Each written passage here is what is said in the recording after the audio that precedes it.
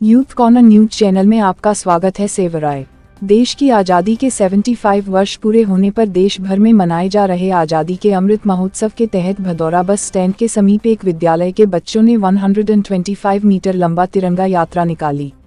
SDM Shevaroy Rajesh प्रसाद ने उक्त तिरंगा यात्रा को हरी झंडी दिखाकर आगे के लिए रवाना किया। आज़ादी के अमृत महोत्सव मनाए जाने के क्रम में भदौरा बस स्टैंड स्थित संत श्री राम शर्मा आचार्य पब्लिक स्कूल के बच्चों एवं बच्चियों ने हाथों में तिरंगा, भारत माता की जयघोष के साथ तिरंगा यात्रा निकाली। इस अवसर पर एसडीएम सेवराय राजेश प्रसाद एवं गहमर कोतवाल पवन उपाध्याय ने उक्त तिरंगा यात्रा को गंतव्य के लिए रवाना किया। हाथों में तिरंगा, भारत माता की जयघोष और डीजे की धुन के साथ बच्चे देशभक्ति के रंग में रंगे नज़र आए। विद्यालय परिसर से निकली यह तिरंगा यात्रा भदौरा बस स्टैंड तिराहे से होते हुए यूनियन बैंक तिराहा, संतरामगंज बाज़ार, रेलवे फाटक सहित तहसील मुख्यालय के रास्ते होते हुए पुनः विद्यालय परिसर में आकर समाप्त हुई। विद्यालय परिसर में प्रबंधक राजेश कुमार वर्मा एवं प्रधानाचार्य भरतलाल श्रीवास्तव ने भारत माता की चित्र पर पुष्प अर्पित किए गए। इस तिरंगा यात्रा का विभिन्न स्थानों पर सामाजिक लोगों द्वारा स्वागत किया गया। उक्त अवसर पर पुलिसकर्मियों के साथ साथ कंचन राय रविंद्र पीसी लंका, जितेंद्र राम, मधुलिका सिंह, इंदिरा मधु कुमारी आदि लोग शामिल रहे। इसी क्रम में गहमर के कॉम्पोजिट विद्यालय जरही के बच्चों को ग्राम प्रधान बलवंत सिंह ने झंडा दिखाकर तिरंगा यात्रा की शुरुआत की।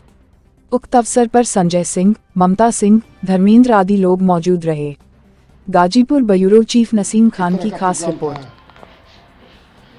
आज़ादी का पचहत्तरवीं वर्षगांठ मनाया जा रहा है, जिसमें 11 अगस्त से लेकर 17 अगस्त तक अमृत महोत्सव का साप्ताहिक कार्यक्रम मनाया जा रहा है। हर एक, प्रत्येक दिन कोई ना कोई कार्यक्रम पूरे ज़िले में या पूरे यूपी में, पूरे भारत में मनाया जा रहा है, जिसके अंतर्गत आज आचार्य संत श्री राम शर्मा कॉन्वेंट के बच्चों द्वारा यह रैली निकाली गई थी, जो बहुत ही उत्साहवर्धक, प्रेरणादायक और देशभक्ति के भावना से ओतप्रोत थी इसी के तहत नेहरू विद्यापीठ इंटर कॉलेज के बच्चों द्वारा भी एक बहुत ही भव्य रैली निकाली गई थी, जिसमें तिरंगा यात्रा नेहरू विद्यापीठ इंटर कॉलेज से होते हुए पूरे रेवतीपुर कस्बे में निकाली गई और इसी तरह से आचार्य संत श्री राम शर्मा कॉन्वेंट विद्यालय के बच्चों द्वारा भी अपने कॉलेज से